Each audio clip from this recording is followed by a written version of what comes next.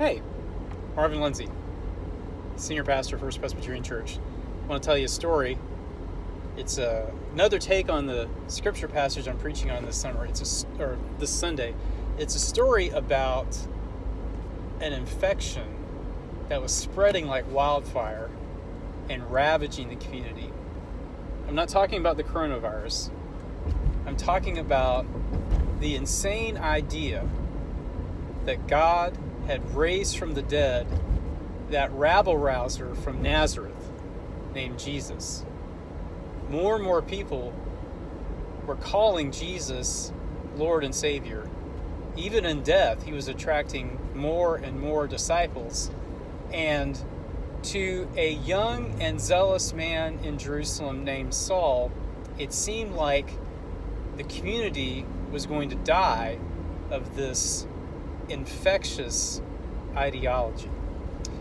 So, like a one man testing and contact tracing program, Saul went house to house in Jerusalem, investigating, testing, and rounding up anybody who might belong to the Jesus way. And then he got permission to leave Jerusalem and go to Damascus and round up any stragglers there.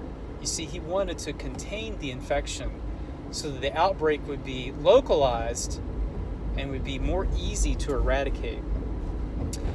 But along the way, that rabble rouser from Nazareth revealed himself to Saul as the resurrected one.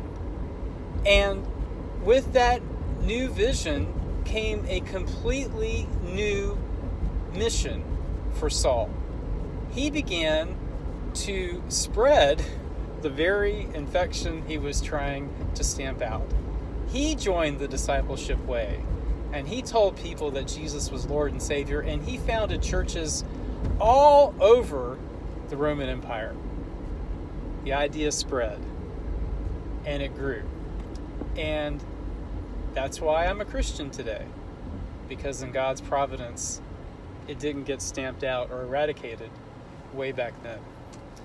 So, this Pentecost, as we celebrate the birth of the church, the birthday of the church, we call it, it's my prayer that we'll all come down with a full blown infection of Jesus' discipleship.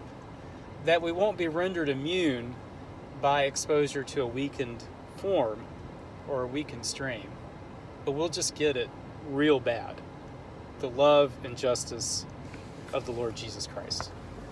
Take care. See you in church.